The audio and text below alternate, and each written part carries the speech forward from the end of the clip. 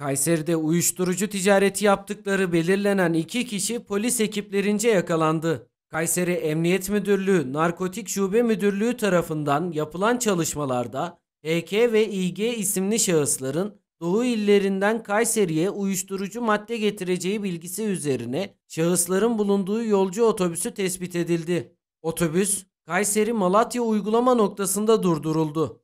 Otobüste yapılan aramada 110 gram eroin ele geçirildi. Şüpheli iki kişi gözaltına alınarak haklarında uyuşturucu madde ticareti yapmak suçundan işlem başlatıldı.